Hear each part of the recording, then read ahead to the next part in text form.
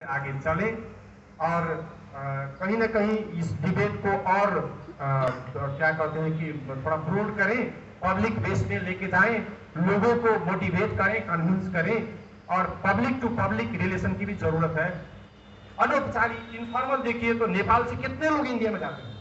Corona में कितने लोग आया? और कोरोना होते हुए भी, क्योंकि वो काम नहीं करेंगे तो चल नहीं पाएँगे इनफॉर्मल कितने लोग जा रहे हैं नेपाल इंडिया में। और अभी हम लोग का दीर्घज का इंडस्ट्रियल कॉरिडोर में देखें तो हमको लगता है कि मोर देन फिफ्टी परसेंट तो आपके यहाँ के लोग हैं, काम करते हैं। कैसा रिलेशन है, अद्वितीय रिलेशन है लेकिन इसको हम शब्द में जब विशेष कह देंगे तो वहाँ पर विरोध शुरू हो जाएगा एक- एक कला करने वाले कुछ लोग हैं। हम तो उसको इजी लेते हैं। हमको कोई विशेष, कोई गलत गलत तोड़ नहीं रहा है। आपके यहाँ ट्रेन जाता है धाम कराने। हम लोग जाते हैं धाम करने। क्यों? हम तो विशेष हैं इसीलिए तो हमको मिलता है। कोई चाइनीज़ तो नहीं जा पाएगा। कोई अफगानी तो नहीं जा पाएगा। तो विशेष हम है?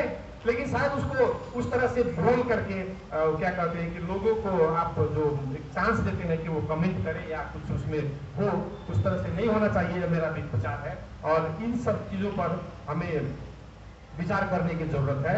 और ये हमारी सीमाएँ हैं।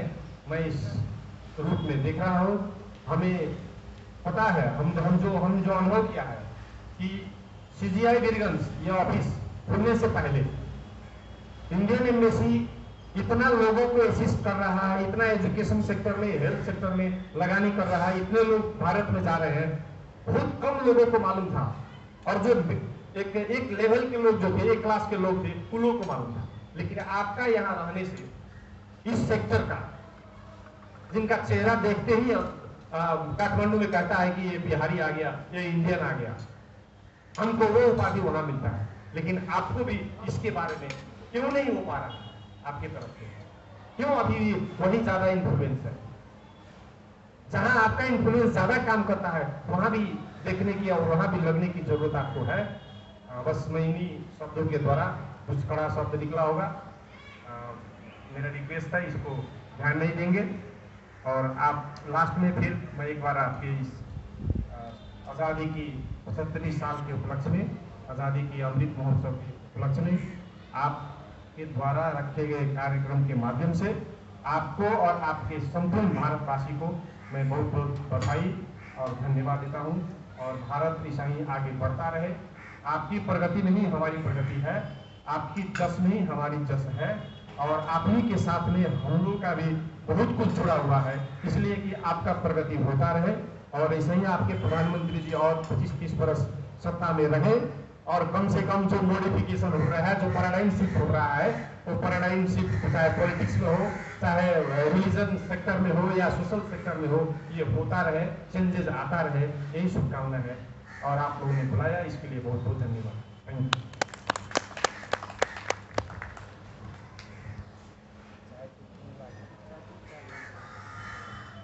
बहुत बहुत धन्यवाद नवीन द्विवेदी जी। आपने बहुत अच्छे पॉइंट्स को अंडरलाइन किया बहुत बहुत सारे लिमिटेशन को आपने हाईलाइट किया। विचारणीय है तो विचार किया जाएगा। अब मैं प्रोफेसर इंदु शेखर मिश्रा जी से अनुरोध करूँगा।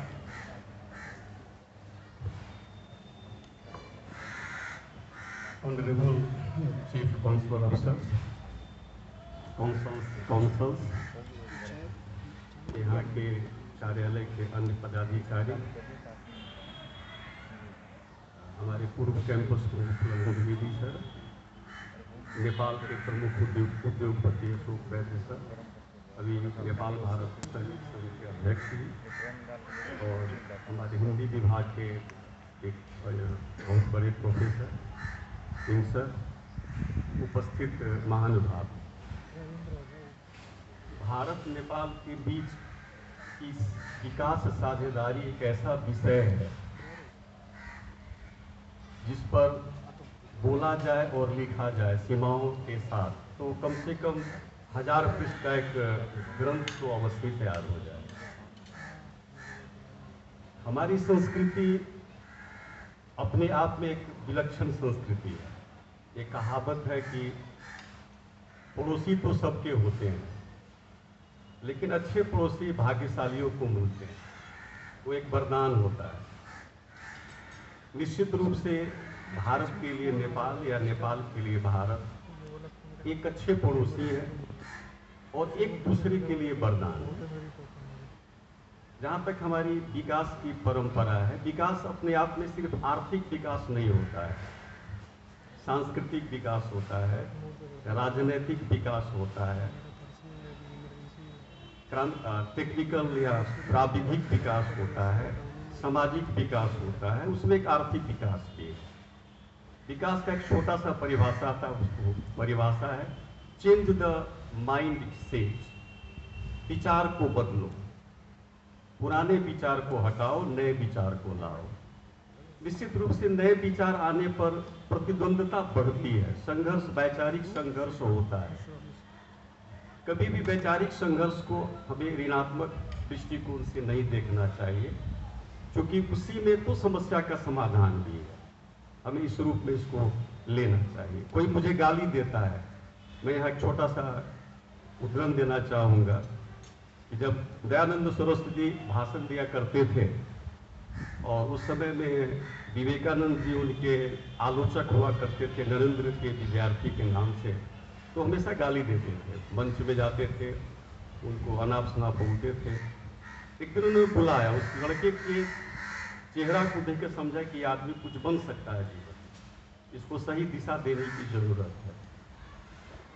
उन्होंने एक लड़के को बुलाया, नरेंद्र को बुलाया और उन्होंने एक फल दिया। जैसे आपने मुझे मिठाई दी। अगर मैं मिठाई स्वीकार नहीं करूँगा तो मिठाई किसका होगा? आपका हो जाएगा। उन्होंने नरेंद्र को एक फल दिया। जो नरेंद्र हमेशा गाली देता था दयानंद सरस्वती को फल कैसे स्वीकार करता तो उन्होंने पूछा कि तुमने, तुमको मैंने फल दिया, तुमने लिया तो नहीं लिया?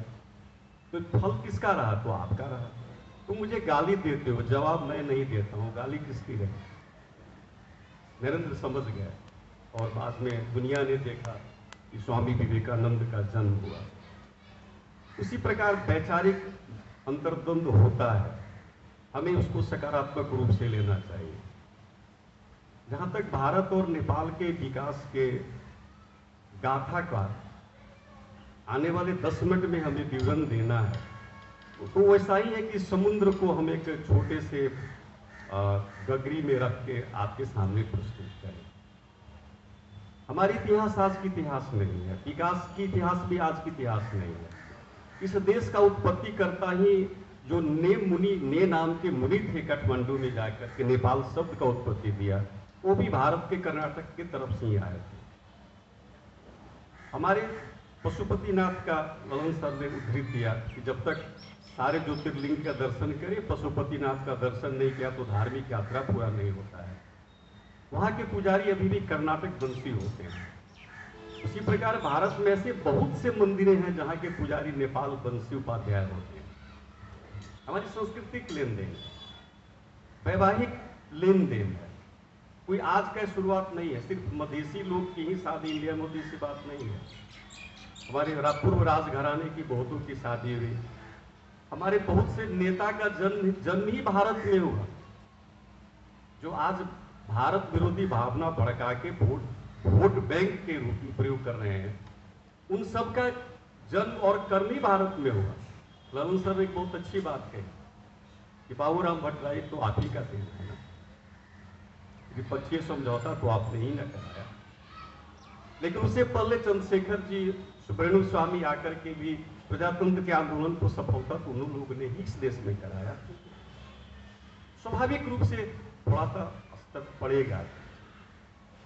जहाँ तक विकास की बात है हमें विकास का एक आर्थिक विकास के रूप में ले। तो अभी के परिप्रेक्ष्य में भारत करीब करीब प्रत्येक वर्ष 1,500 करोड़ रुपए का लगाने नेपाल के विकास कार्य में कर रहा है। अब सिर्फ़ सरकारी क्षेत्र का विकास यहाँ नहीं हो रहा है। ज्वाइंट वेंचर में हमारे यहाँ डेढ़ सौ से ज़्यादा प्रोजेक्ट्स अभी भारतीय सहयोग से चल रहे हैं और नेपाल के एफ़ में 30 प्रतिशत से ज़्यादा योगदान सिर्फ़ भारतीय व्यवसायियों, उद्योगपतियों, सरकारों और अन्य लगानी करताओं का है। ये जो एफ़ ये जो विकास है, वो सिर्फ़ किसी एक क्षेत्र में नहीं हो रहा है। औद्योगिक क्षेत्र में हो रहा है, निर्माण क्षेत्र में हो रहा है, संचार क्षेत्र में हो रहा है, कनेक्टिविटी के लिए सड़क क्षेत्र में हो रहा है। एक एक प्रोजेक्ट को गिनाना शुरू किया जाए तो हम लोग को 24 घंटा लग जाएँगे सारे प्रोजेक्ट के बारे में यहाँ विश्लेषण करने में। इसलिए समग्र रूप से मैंने कहा कि करीब करीब एक से एक हज़ार पाँच सौ करोड़ रुपये प्रत्येक वर्ष भारतीय लगानी के द्वारा नेपाल में विकास कार्य का संचालन हो रहा है, जो उपलब्ध डाटा के आधार पर मैं कह रहा हूँ। इसकी प्रमाणिकता मेरे पास में अगर आप चाहेंगे तो मैं दे सकता हूँ। दूसरी बात भारत हमारे देश में बौद्धिक विकास में भी प्रमुख भूमिका खेल रहा है। सीजीआई के ऑफ़िस के द्वारा, महात्मा गांधी फाउंडेशन के द्वारा सैकड़ों बच्चों को तो निःशुल्क प्रदान करना। यहाँ से हर एक साल सैकड़ों विद्यार्थी की इंजीनियरिंग डॉक्टरी और अन्य अध्ययन के लिए इंडिया भेजना। ये सब बौद्धिक परिवर्तन का निशानी है। इसी प्रकार अगर हम इसके विकास की बात किया जाए, एक छोटी सी मैं बतलाता हूँ। उन्नीस सौ नब्बे के बाद में भारतीय, नेपाली रुपया का पैगिंग भारतीय रुपया के साथ कर दिया गया। अर्थात आज हमारे देश के रुपये का विदेशी विनिमय दर भारतीय रुपया से जुड़ा हुआ है। अगर ऐसा नहीं होता तो हमारे रुपये की स्थिति क्या होती? कोरोना काल में जो विकास का दर गिरा हमारे यहाँ, भूकंप से जो विकास का दर गिरा हमारे यहाँ कोरोना से पहले विभिन्न आंदोलनों के कारण से विकास का दर जो गिरा यहाँ। हमारी एक्सपोर्ट्स घटी इंपोर्ट्स बहुत बढ़ी। अगर भारतीय स्थिर रुपया के साथ अगर विनिमय दर नहीं जुड़ा होता तो आज दुनिया में हम कहाँ होते?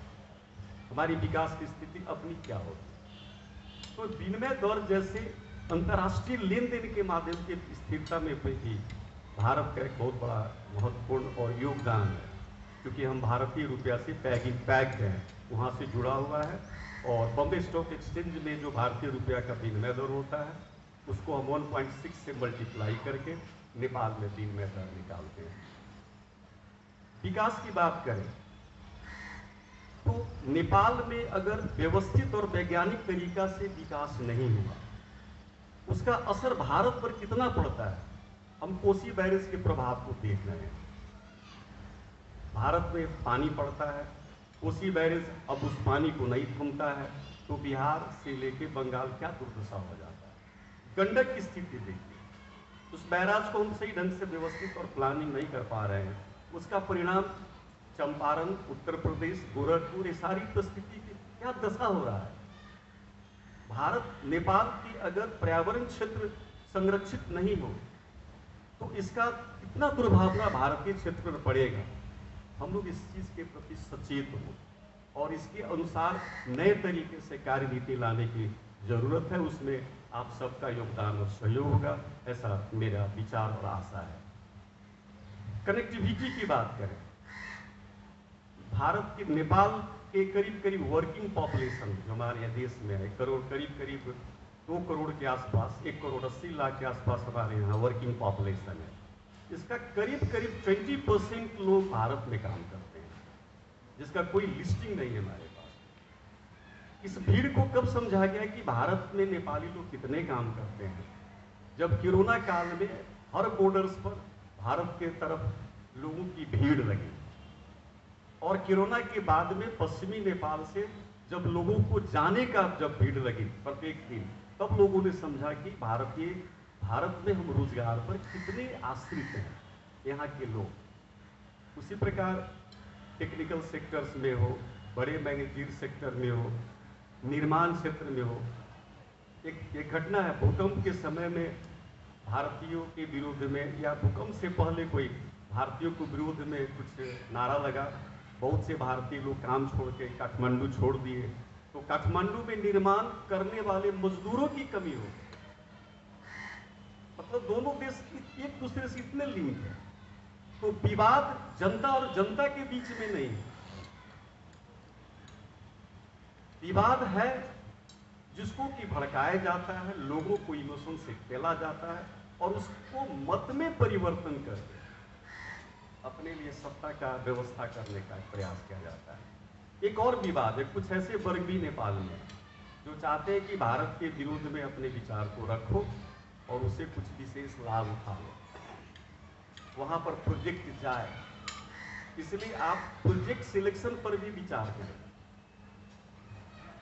क्योंकि बहुत से ऐसे जगह है जहाँ की आपकी प्रोजेक्ट की न्यायोचित है ज़रूरी है, लेकिन वहाँ आपकी प्रोजेक्ट नहीं पहुँच रही। एक एक सीमा की बात मैं कर रहा धवन सर जब कैंपस शिफ्ट हुआ करते थे, आपके कार्यालय में हम लोगों ने बीसों, में हम लोग कम से कम बीस बार यहाँ आए हैं।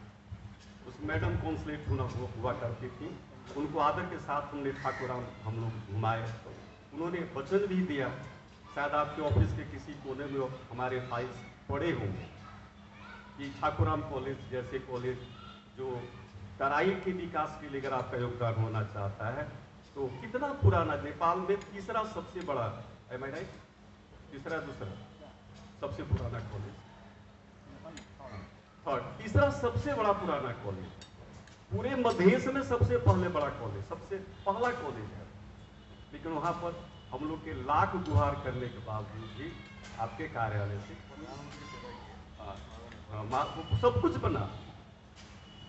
यहाँ से हम लोग लाख प्रयास करने के बाद भी बहुत आश्वासन पाने के बाद भी कोई सहयोग प्राप्त करने में सफल नहीं हो पाया। क्या आपकी सीमा नहीं है? जहाँ आप हैं जहाँ के टीचरों को इस योग्य आपने समझा कि आपके कार्यक्रम में आवे क्या उस संस्था के प्रति आपकी कोई जिम्मेवारी नहीं बनती? मेरा एक प्रश्न है आपसे। उसका जवाब देंगे और अवश्य ही हम लोग को सहयोग करेंगे, ऐसा मैं आशा भी रखता हूँ। तो छोटी छोटी सीमाएँ। प्रोजेक्ट का सही, एक और सीमा की बात मैं करूँगा। आप जितने प्रोजेक्ट चला रहे हैं, विशेष करके माइक्रो लेवल मालूम है आपको कि ग्राउंड रियलिटी में आपके प्रोजेक्टों के साथ क्या दशा हो रहा है? क्या आपने कभी जाके देखा उस जगह को? एक मैं उदाहरण देना चाहता हूँ। गौर में युद्ध स्कूल में आपका एक बहुत बड़ा हॉस्टल्स बन रहा है करीब करीब दो दो, दो करोड़ के इन्वेस्टमेंट से आठ वर्ष से पिछले बन रहा है। क्या किस दशा में हॉस्टल है?